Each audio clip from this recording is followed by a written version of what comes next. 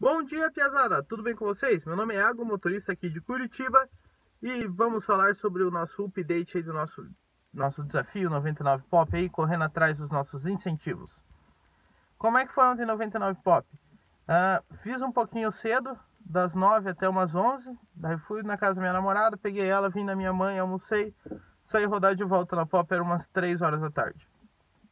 Rodei até umas 11 e meia, uh, e aí eu parei com a Pop, foram 23 corridas rodadas. É, meu ganho foi de 250 reais, mas eu ganhei um incentivo de, do dia anterior, uh, do taxa zero, e corri ganho de 29 reais. Então, na verdade, eu ganhei 220, 220 e pouco pela 99 Pop. Então, 23 mais 8 24, 25, 26, 27, 28, 29, 30, 31 corridas. Ah, então eu acho que está alcançável o, as 55 corridas, visto que ontem eu consegui fazer, fazer 23 corridas. Então hoje aí vamos correr atrás. Ah, vou tentar fazer umas 25 corridas para ter certeza.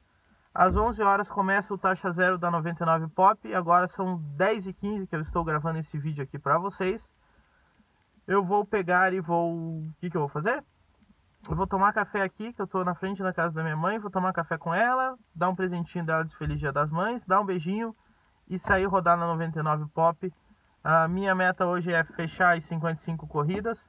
Vou fazer o máximo de corridas humanamente possível dentro do taxa zero para eu ganhar mais um incentivo. E tem mais um incentivo de 12 corridas por 50 reais. Beleza, pesada? Então daqui a pouco eu tô aí, tô rodando, tudo de bom para vocês. Valeu!